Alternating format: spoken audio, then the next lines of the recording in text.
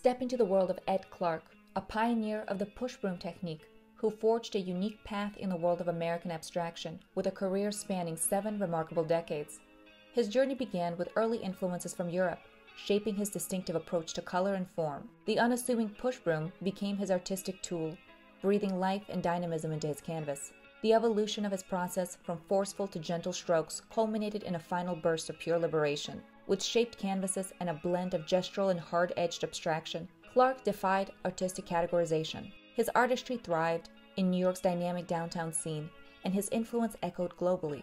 Ed Clark's enduring legacy as a master of his craft continues to inspire and redefine the boundaries of art.